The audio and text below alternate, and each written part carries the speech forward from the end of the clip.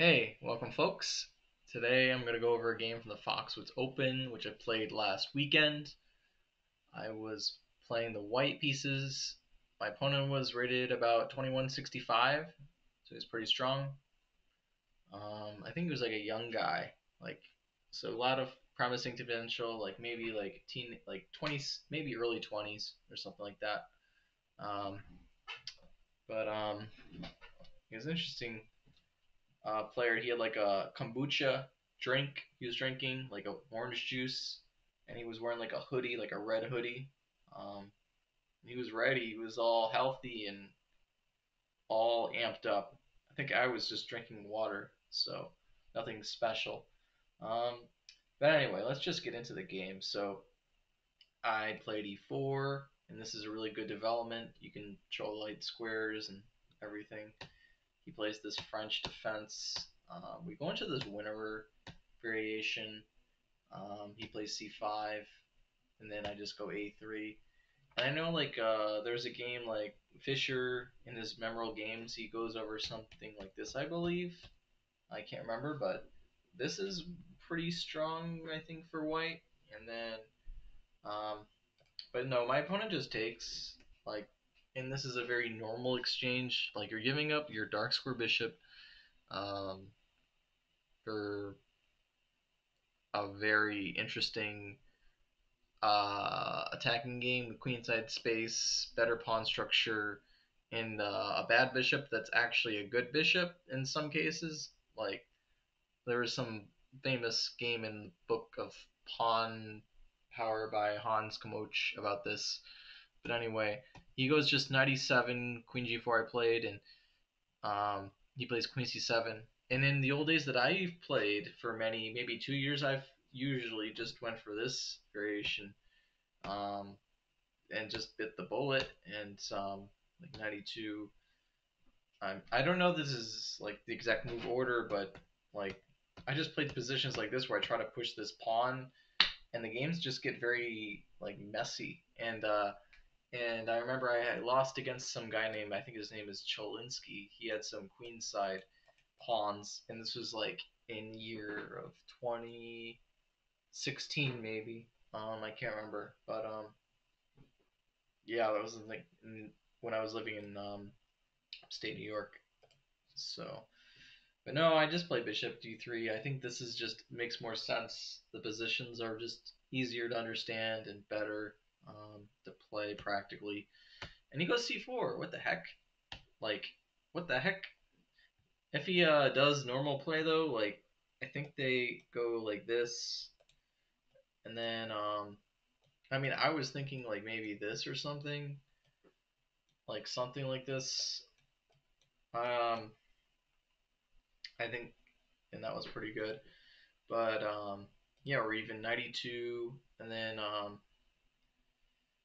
like there's just many variations. Like if they go here, we can take, and this is um kind of the same thing as before, but now the queen is or the the bishop is outside the pawn chain, same as the old variation I was showing you guys earlier. So there's just many cool positions. But instead, he just plays c4, which is breaking all of the rules of chess. Like, what the heck? You can't be playing like this but it's a normal thing, and I feel like I've seen some game about this. Like I don't know if it was a Nepomniachtchi, but like I think some of those elite players tried this stuff. Um, the plans are still there. Like maybe you could play f6 or b4, but um, yeah, we'll see. So he goes queen a5, and I just develop with bishop d2. I, like I'm just trying to develop my pieces. I don't really thinking about anything like right now. Um, I just know, I mean, the general idea is the position is like this uh, pawns are pointing for the king side, and sometimes white, I think the actual plan is to play on this side of the board, like maybe target f7, like sometimes like a knight here. Uh, sometimes you win f7 in some variations. I forgot my theory offhand, but I know you can win that f7 pawn in some lines. And like black can play on the queen side and maybe like pass a pawn and do some cool stuff over there and it's like really weird vacuums, I guess you can say. Like I, I don't know if you call this like a dual vacuum or like a deluxe vacuum. Um, We can find out about the vacuums. Uh, my friend uh, Mr. Grandmaster uh, Raven Sturt's uh, positional chess course. I gotta give a shout out for that. But that's like uh but yeah, I think in the old when I was learning chess, I was thinking this is like a split board. And you can see one of my earlier videos where I had like a split board. It was my first win against a 2000 player. Um like a quote yeah, a split board. But um I think I do I do decent in these vacuum positions. I think that it's just easier to kind of focus on your own plans. I think like it's just like and not worry too much about your opponent's plans because it's like a plan versus plan, like a race almost sometimes, like or even the King's Indian stuff like that. But anyway, yeah. So he's just developing normally as well, and I just castle. Like now I got my DPs developed. Bishop d7, and like I was still thinking here, like does my knight really attack this pawn, or do I move on this side of the board? It looks like he wants to castle. Um, queen side, I mean, am I ready for that? and um, but also I was annoyed because he was also. I mean, this isn't really a threat. He wanted to win the c2 pawn sometimes with queen a4 to here, and that's been around for a little bit of moves. And I was prepared to sacrifice that pawn because that is really good to sacrifice that pawn because then this bishop over here becomes like super strong. Um, and this queen loses time. And I was prepared for that, but he didn't do it. Um, so anyway, I just played a4 just to remove that idea. Um, enemy castles, and I just developed my rook. I mean, just uh, and I'm kind of like threatening this a little bit. It's not a real threat, but like um, yeah, it's it's annoying kind of. I don't know if the discoveries are even. I mean, later down the road, oh, if they're good sometimes, because even a sacrifice on b5 can open this and win the pawn on a7. But um, in any case, he just didn't go for that or allow that at all. He was good knight e7. And uh, I was just trying to think like where is my worst place piece and um, my queen was just hitting g7 and it's kind of a target. Like uh, there is uh, my friend uh, Grandmaster Raven Sturt's course where on certain like the fifth rank, that's kind of like a vulnerable area to be attacked often, especially for like bishops, I believe. Um, so I was just kind of uh, a little taken aback by my queen's position. In a queen f4, there's knight g6. It's on this kind of vulnerable fourth rank. So I just played queen h3. Um, and uh, yeah, there's there's some annoying ideas you can play in the g file, like um, so and in some variations with queen h3, I'm kind of threatening g4, not here, uh, because he just takes the and the g file's open. But um, yeah, I'm just trying to get my queen out of the way of things, and also I want to get my queen back into the game like that. Like so then my queen will be doing something, like maybe attacking. Who knows? Um, but no, he plays h5, and then I go g3. I guess h5 prevents g4, but I don't know if that was a real threat. Um, but yeah, now I get to do my plan. I do feel like f6 is his strongest idea, and I do kind of prevent it later in the game a little bit, like dissuade it, uh, as you guys will see. But this is out of this world. Why could you take like I didn't know you can actually play like this like as black.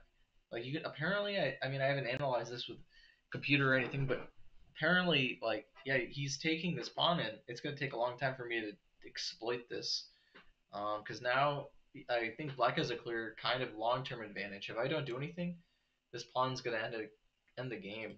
So um, I just play bishop c1, and I'm really ready to kind of meet this um, queen takes on c3, which is bishop c2 and bishop d1, winning back the bishop. That was my tactical idea.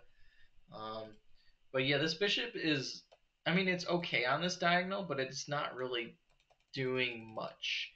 And in principle, in these positions, you want it on this diagonal. Uh, it's just outside the pawn chain, and it just makes it a really strong bishop. Um, but no, he protects his bishop with b5. Uh, that's super committal. But I mean, I don't know what else. He seems like he needs to get his he wants to get his queen out of the way and everything, and, and secure things up.